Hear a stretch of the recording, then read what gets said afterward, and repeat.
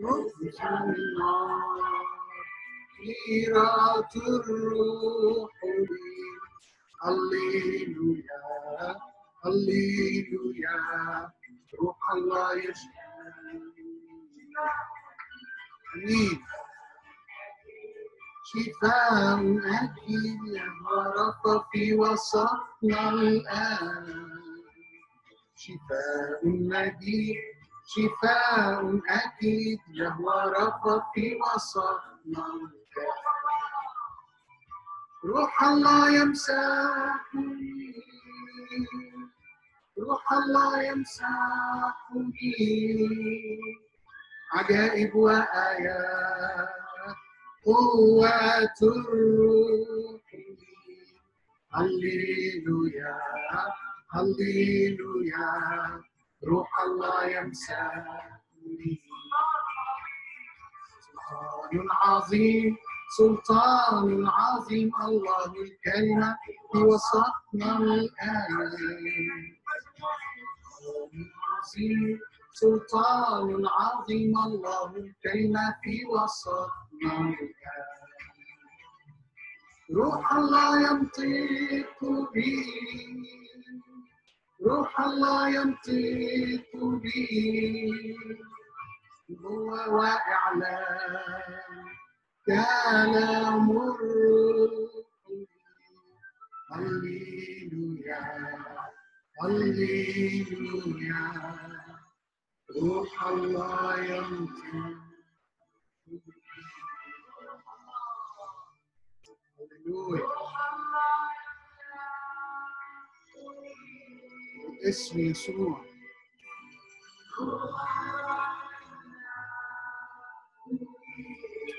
أمام كل مشكلة يملأك روح الله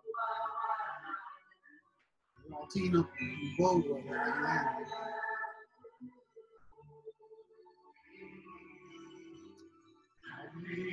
هللويا. هللويا. روح الله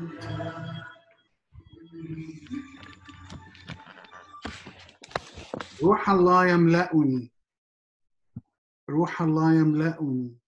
الرب الإله اللي بيملاك النهاردة يريد إنه يستخدمك بطريقة مختلفة.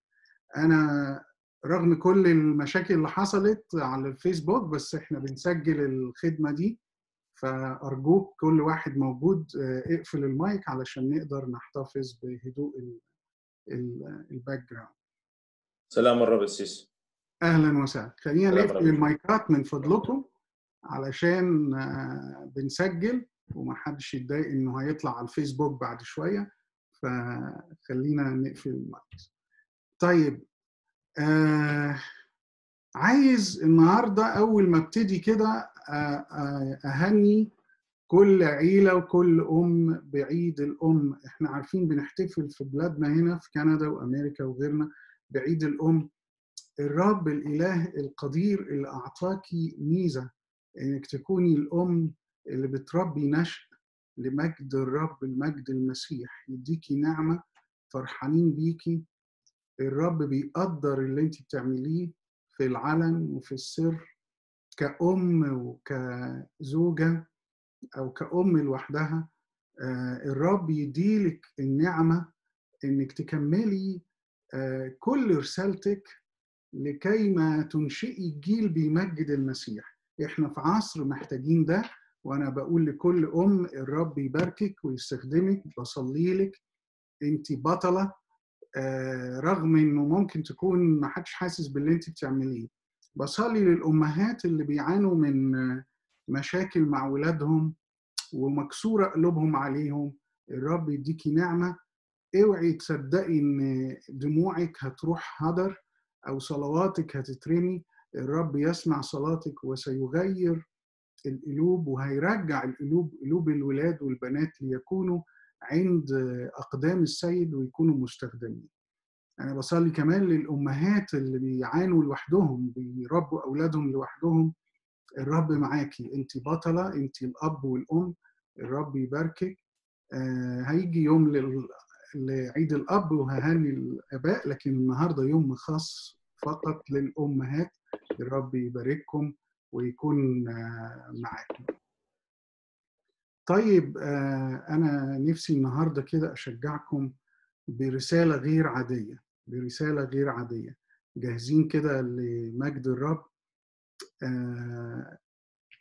الرب شغلني الأيام دي بإني أكلمكم عن حاجة خطيرة جدا.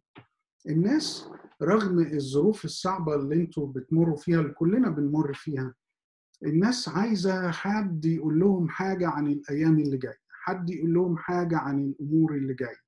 الرب النهاردة جاي يقول لك كلام مهم. آه بيقول لك كلام تغير بيه مستقبلك كله وتغيري بيه مستقبلك كله. بصوا كده الإعلان عن الأمور الآتية شيء خطير جدا وإحنا في أحوج وأمس لاحتياج هذه الأيام إن الرب يستخدمك لإنك تكون بتسمع صوت منه وبتقول كلام من الرب وبتعيده وبترى رؤى من من الرب القدير. زمان قوي كان في ولد صغير يشعر إنه ولد صغير. كان في سن المراهقة وسمع الرب بيكلمه في يوم وبيقول له قبل أن أشكلك في رحم أمك عرفتك. وقبل خروجك من بطن أمك خصصتك لخدمتي. وعينتك نبيا للشعوب. الولد الصغير رد على الرب وقال له ولكن أيها الرب الإله أنا لا أحسن الكلام كنبي وأنا مجرد ولد صغير. الرب في محبته قال له هذه الكلمات لا تقل إني لست لست إلا ولد صغير. لأني أنا اعطيك قدرة إنك تذهب إلى كل مكان أرسلك إليه. هتتكلم بكل ما أمرك به. لا تخف من وجوه الناس لأني سأكون معك لأحميك. الكلام ده قاله الرب لإرميا النبي زمان. وإرميا يحكي ويقول إنه الرب مد يده ولمس فم إرميا ولما لمس فمه قال له ها إني وضعت كلامك كلامي في فمك ها أنا قد أعطيتك سلطانا على الشعوب والممالك لأن تقلعها وتحطمها وتهلكها وتدمرها وأعطيك أيضا سلطان لإعادة بنائها وزراعتها. وبعدين الرب قال كلمات مهمة قوي الأرمية بيقولها لك وبيقولها لك النهارده. ماذا أنت رائي؟ أنت شايف إيه؟ إيه اللي أنت شايفه؟ آه فالرب قال ارميا أنت شايف إيه؟ فإرميا رد وقال له أرى غصن لوز أو غصن مثمر. وكلمة لوز في العبري معناها سهر كمان معناها إنه شخص سهران. فقال له أحسنت الرؤيا يا إرميا. لأني أنا ساهر على كلمتي لأجريها لأضمن تحقيقها.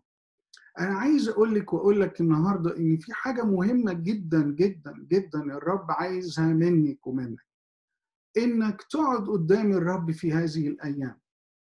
رغم الحرمان من مباني الكنائس ومن تجمعات المؤمنين الرب يريد النهارده إنه يتحد بيك ويكلمك ويكلمك بأمور غالية جدا على قلبه.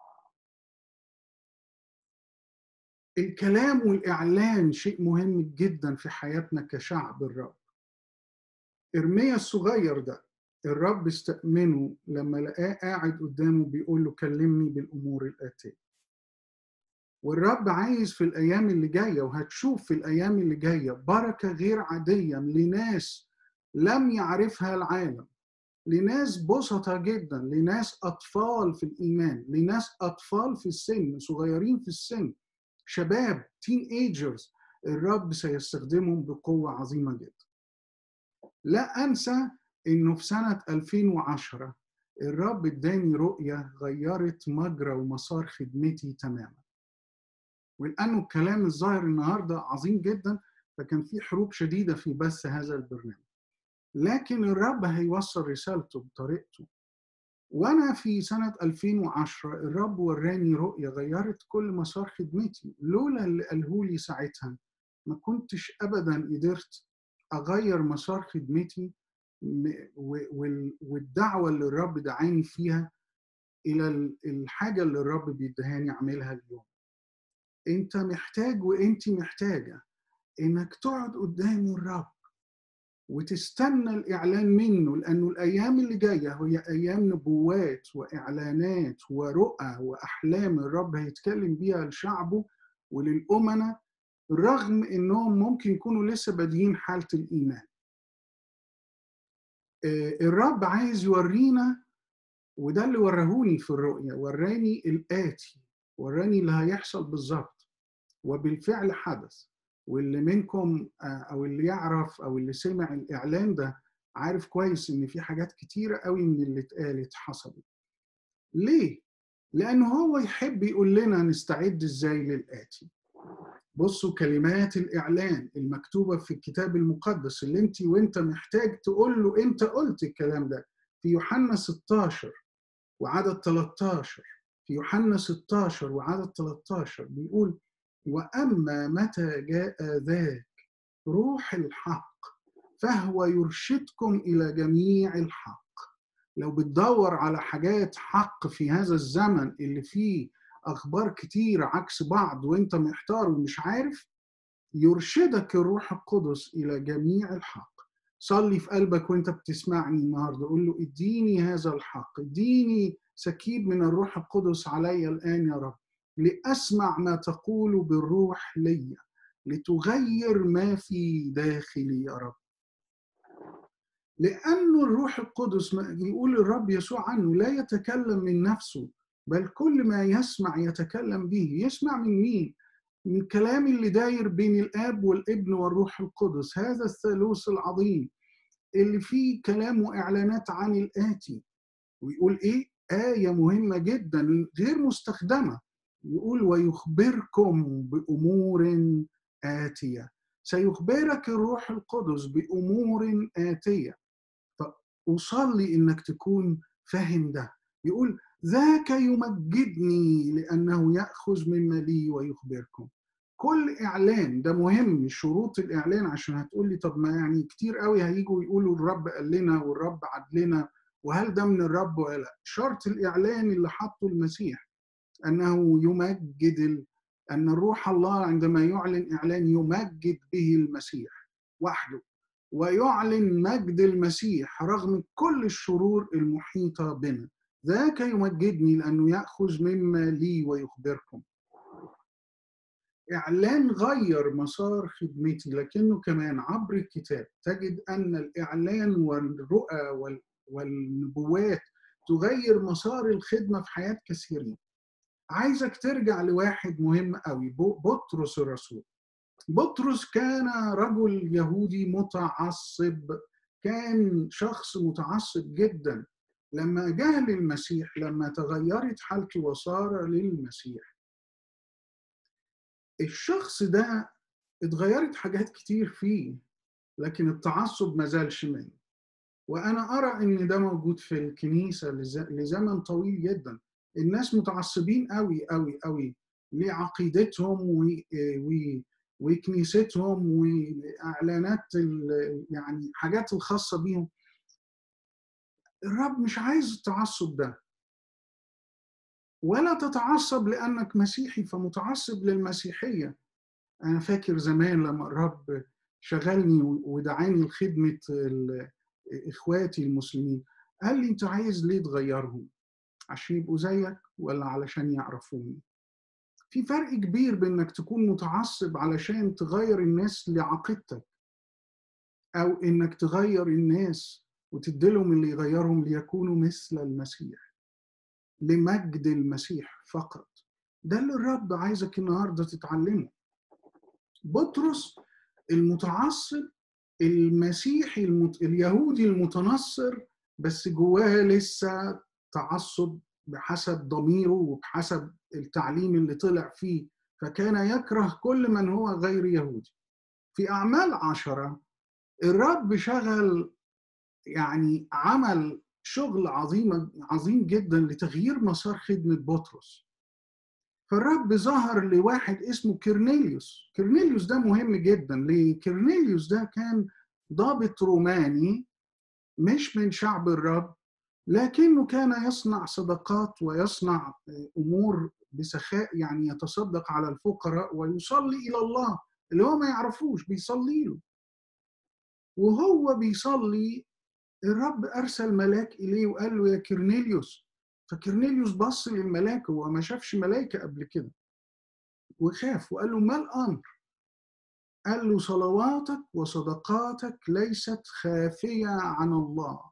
اللي انت بتعمله من خير مش مخفي. يا جماعة كل واحد في هذا العالم بيعمل خير وبيتصدق وبيعمل أمور وبيصلي. الله شايف إخلاصه حتى إن كان في اتجاه غلط. فيغير مساره ويبعت له ملاك لما ما يكونش فيه فايدة. قال له ارسل لواحد ليافا واستدعي رجل اسمه سمعان بطرس نازل عند واحد تاني اسمه سمعان الدباغ. غالبا بيعمل جلد وبيته عند البحر. وفعلا أرسل. في الوقت ده الرب كان بيغير قلب بطرس.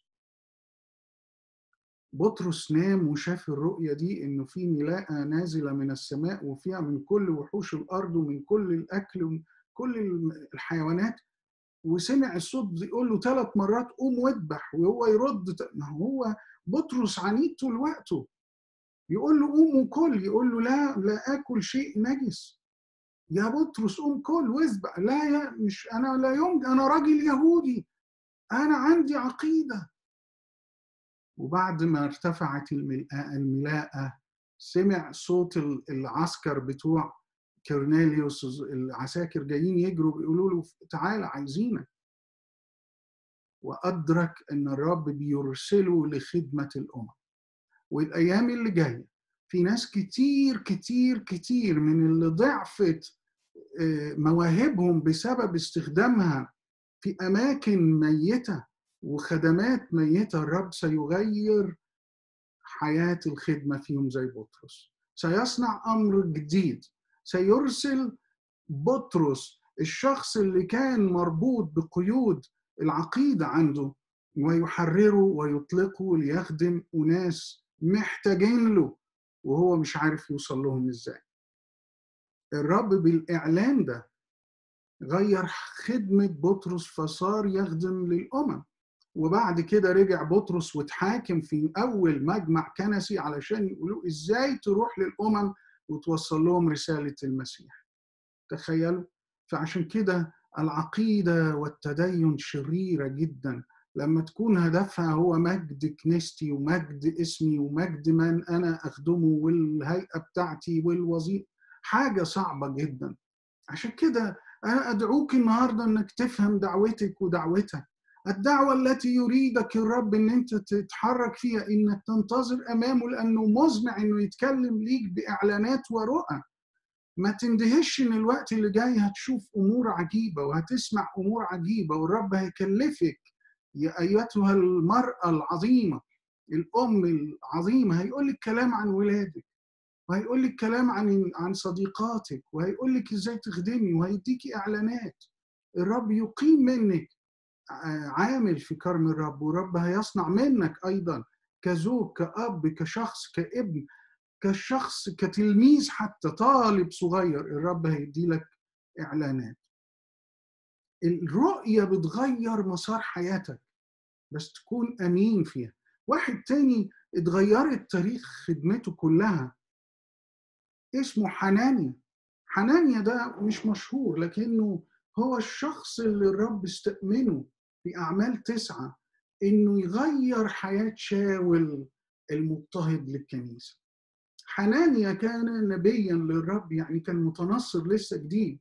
ما كلهم كانوا جداد لكنهم امتلأوا بالروح القدس. وهو هربان من الكنيسة في أورشليم جال متشتت يعني يبشر بالكلمة وهو هناك. الرب نادى عليه في أعمال تسعة عدد عشرة وقال له يا حنانيا فقال أحلى كلمة. لما الرب ينادي عليك ويقول لك باسمك يا اللي أنت سامعني ويقول لك باسمك وانت عمرك ما كنت بتسمع صوت الرب هتلاقي الرب بينادي عليك قل له نعم يا رب. هو ده اللي قاله حناني. ولما قال له نعم يا رب الرب قال له انهض واذهب إلى طريق مسمى الزقاق المستقيم. واسأل في عن بيت يهوذا في بيت يهوذا عن رجل من ترسوس اسمه شاول. هو هناك يصلي. اتخيل انت هذا الشخص اللي هربان من شاول الروح القدس بيقول له روح لشاول. فاتلجلج كده و... وقال له بس هو شافك وانت داخل يا حناني عليه وحاطط إيدك وبتصلي له وبيقول لك وانت بت... بتقول له استعيد نظرك لأنه كان عيني بسبب سقطته أمام الرب. حنان يخاف. ما هو كلام الرب مش لازم يكون يعني كلام سهل.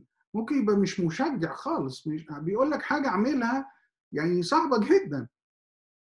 فالرب قال لحنانيا فحنانيا قال له يا رب أنا سمعت من أشخاص كثيرين عن هذا الرجل وبعدين سمعت عن فظائع هو عملها بمؤمنيك القديسين في مدينة أورشليم. يا رب ده اللي مات عند اقدامه استفانوس مرجوم. يا رب يعني أنت بتضيعني بتبيعني يا رب كده بهذه السهولة بتسيبني. فالرب قال له اذهب لأن هذا الرجل هو أداتي المختارة ليحمل اسمي أمام جميع الأمم. يا سلام. يا سلام لما الإعلان يجي فيغير اتجاهات قلبك.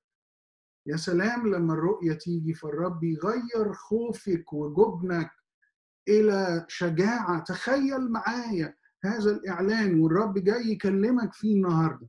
اتخيل معايا لو الرب كلمك أو كلمك كلمك وقال لك روح للأخ فلان الإرهابي أو الأخ فلان المتزمت دينيا أو أو روحي للأخت فلانة اللي هي يعني من الناس اللي بتحض على كراهية المؤمنين. هل عندك استعداد تعمل ده؟ حنانيا كان يخشى ويخاف الدعوة لكن الرب قال له ما تخافش أنا معك. وفعلا ده غير مجرى تاريخ ومسار خدمة حنانيا فصار حنانيا الشخص اللي ربح شاول يكون بولس الرسول. وصارت الأداة المختارة لخدمة الآلاف والملايين بعد كده بل بلايين البشر عبر العصور من قراءاتنا في كلمة الرب في رسائل بولس. بسبب واحد أطاع الرؤية. ده أمر سهل وصعب. عشان كده الرب قال له اذهب فذهب. وقال له الكلمات دي أيها الأخ شاول. الله بقى أخ إزاي؟ قال له ما أنا شفتك بقى. ما أنا عرفت اللي بعتني أرسلني إليك الرب يسوع الذي ظهر لك في طريقك إلى هنا. أرسلني إليك لكي ترى ثانية وتمتلئ من الروح القدس. وفورا سقطت قشور يابسة من عينيه فاسترجع بصره وقام واعتمد. وبعد أن تناول بعض الطعام استعاد قوته. تخيل معايا لما الرب الإله القدوس العظيم يصنع ده فيكي وفيك. وبيكي وبيك. ويستخدمك. هل عندك استعداد تفتح ودانك من اليوم؟ وتفتح قلبك لأنه الرب يديلك إعلانات من عنده؟ الإعلان والنبوة بتغير مسار الإنسان وبتغير مسار الشعوب. وإحنا في وقت صعب جدا محتاجين إعلانات عشان نشوف رايحين على فين.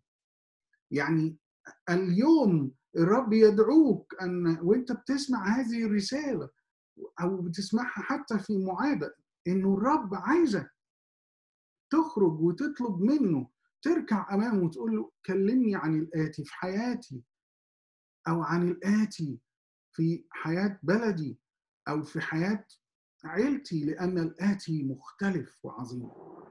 بولس الرسول في يوم من الأيام اتغيرت خدمته كلها بسبب رؤية شافها بسبب إنه الرب كلمه عن الآتي.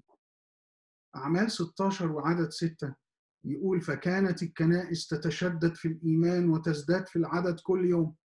ده جوه أورشليم ويعني هنعمل إيه طيب؟ نخرج شوية. ابتدوا يتحركوا فخرجوا إلى فريجية وكورة غلاطية.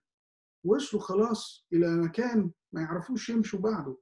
ومنعهم الروح القدس أن يتكلموا بالكلمة في آسيا الصغرى. يعني. عند تركيا ما راحوش كملوا. طب ليه يا رب؟ لأن كان لي غرض آخر. الروح القدس كان له غرض آخر. فراحوا ميسيا وبعدين بلد تانية اسمها بثينية وخلاص الروح القدس قال لهم ما تكملوش.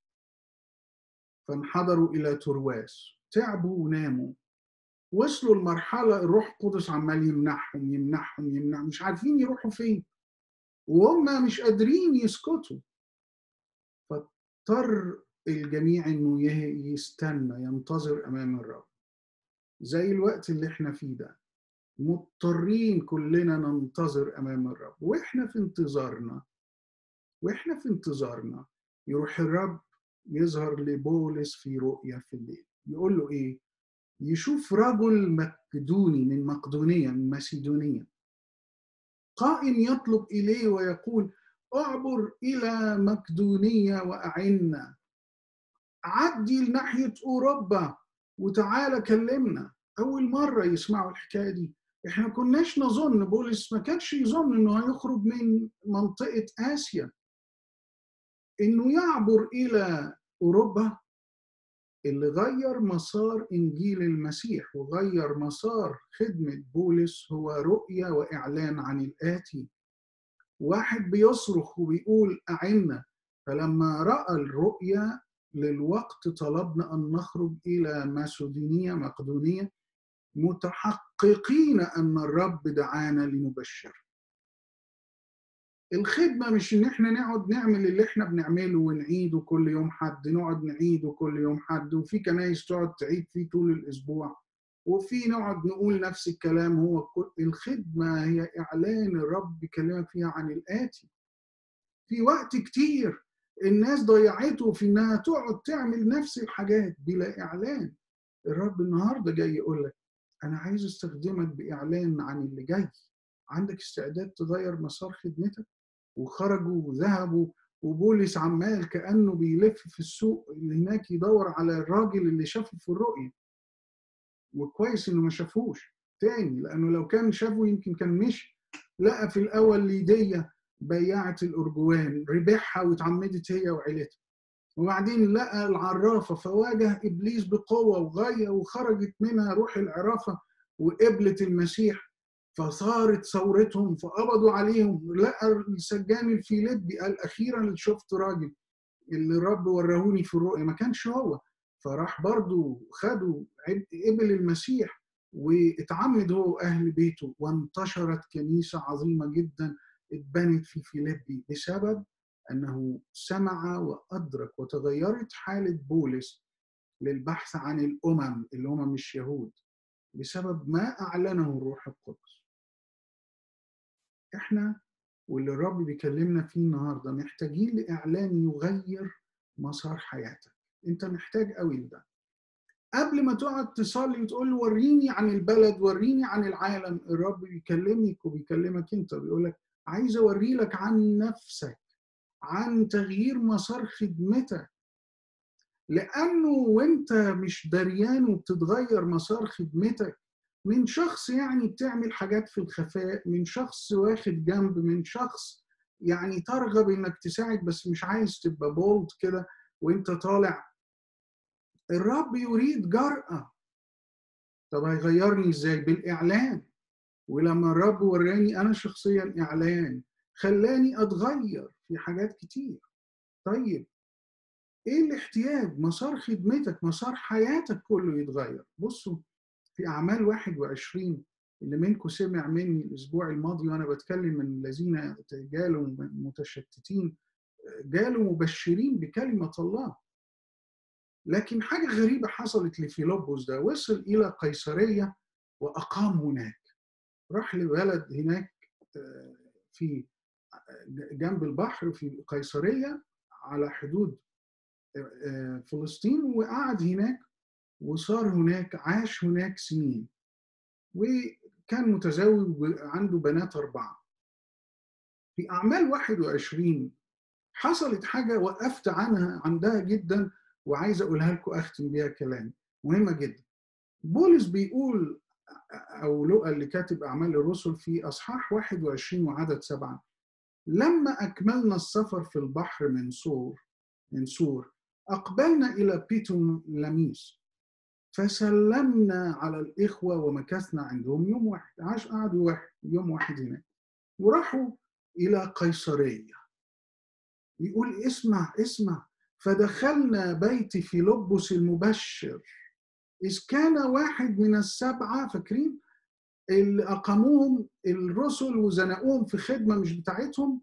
ولما جاءت ال ال ال الاضطهاد انتشر الجميع وكان فيلبس استرد خدمة الكرازة اللي راحت منه اللي اتطفت جواه.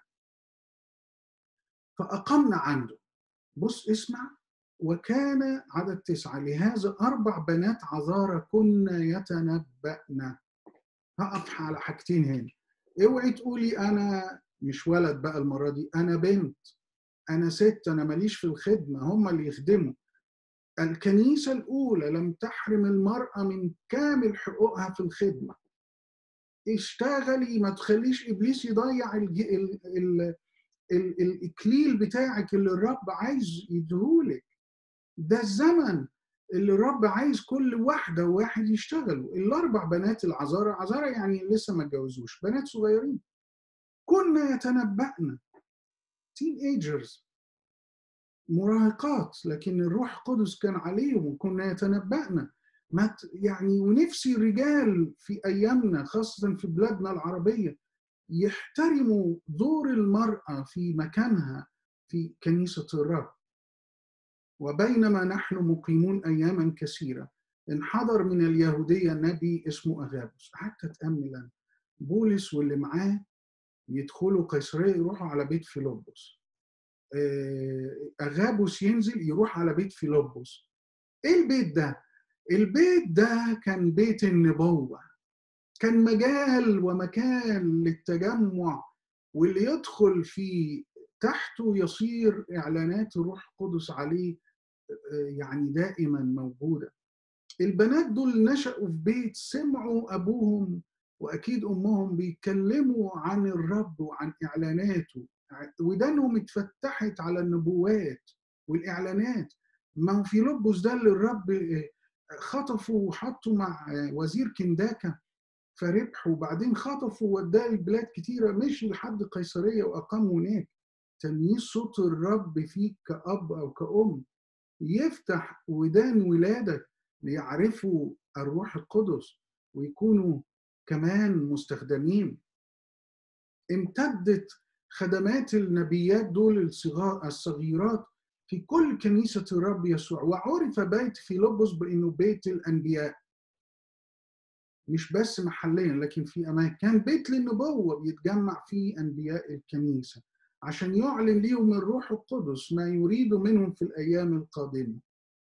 عشان يرشدهم بنبوات خاصة بعظماء يعني بأعمال عظيمة جاية. أنا عايز أقول لكم الحكاية دي. إمتى آخر مرة قعدنا قدام الرب وقلنا له اتكلم يا سيد عن الآتي في حياتنا إمتى آخر مرة قعدنا للرب وتوقعنا منه أمام الرب وتوقعنا منه إنه هيدينا إعلان يغير حالتنا؟ يقول الكتاب المقدس حاجة مهمة جدا إن النبي أغابوس أخذ منطقة منطقة بولس الحزام بتا... يعني الحاجة اللي بيربطها على بطنه وربط إيديه ورجليه كإعلان نبوي.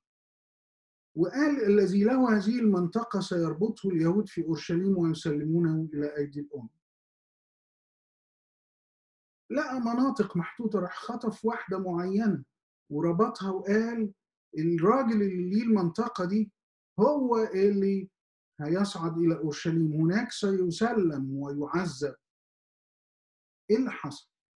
فلما سمعنا هذا طلبنا إليه نحن والذين من المكان أن لا يصعد إلى أورشليم. قلنا له لا لا لا لا ما تروحش. فأجاب بولس ماذا تفعلون؟ تبكون وتكسرون قلبي؟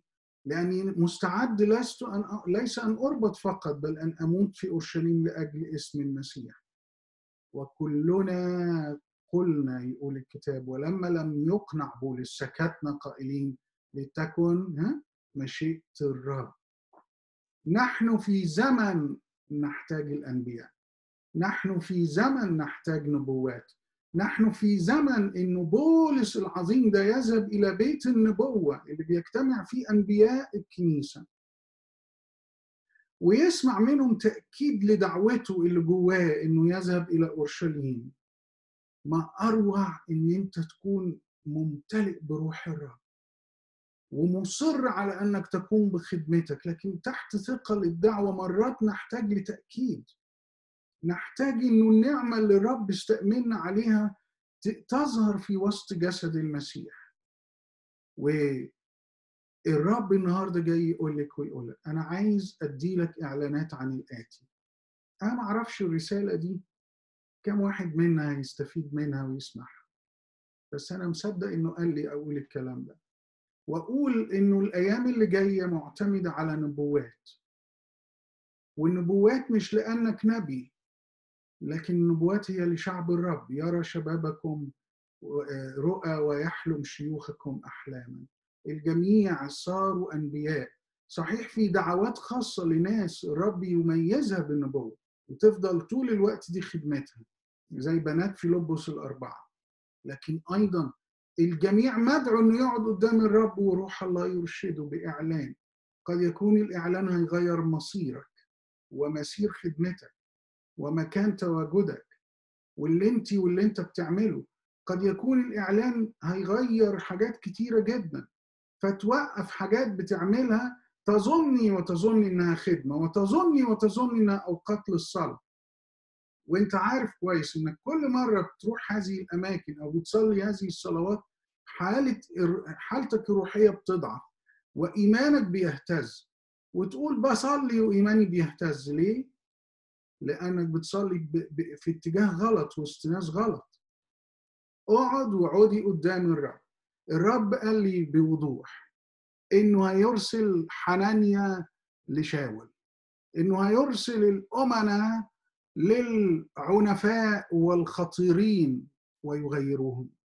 انه هيروح يفتحوا أعين أناس كانوا ضالين ويحتاجون للملء بالروح القدس وانه الرب هيستخدم ناس عادية وناس بسيطة وناس تحت الخطر وناس خايفة من اللي جاي ولكن الرب سيغير ده.